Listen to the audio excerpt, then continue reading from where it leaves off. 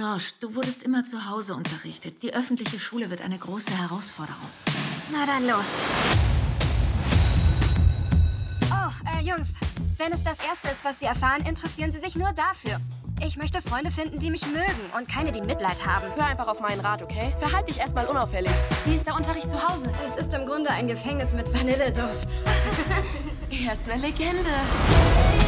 Es so viel zu tun gibt. Ich möchte einfach dabei sein und nichts davon verpassen. Du willst Limonade ins Kino schmuggeln?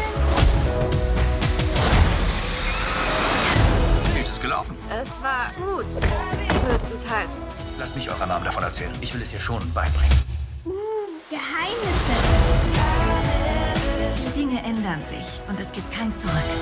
Du hast mir immer vorgelebt, nie vor einer Herausforderung zurückzuschrecken. schulischen Aktivitäten nicht breit fächerst, bist du verloren. Josh Dubin. Hier. Hier. Äh, hier.